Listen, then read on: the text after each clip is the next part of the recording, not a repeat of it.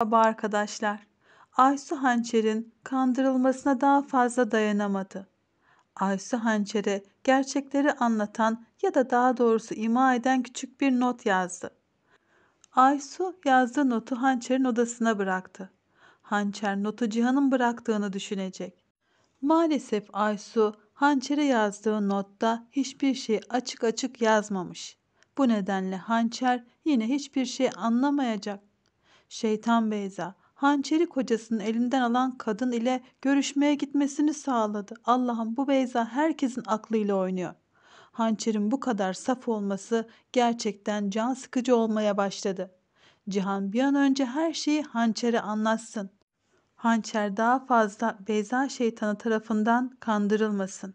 Hançer'in gerçekleri öğrenmek en doğal hakkı.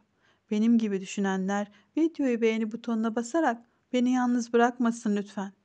Beyza Cihan ve Hançer'in birlikte olmasına dayanamıyor. Beyza Cihan ile görüşmek için mesaj atıyor. Hançer'in hiçbir şeyden haberi yok. Beyza Cihan'a bebek patiği vererek Cihan'a psikolojik baskı yapmaya başladı. Beyza Cihan'a oğlun doğmadan gitti diyor.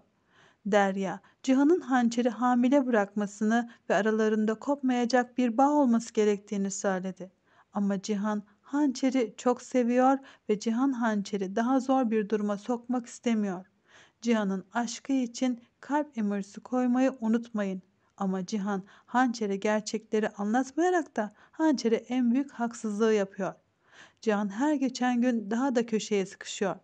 Beyza hançeri kullanmaya devam edecek. Maalesef hançer gerçekleri öğrendiğinde çok acı çekecek.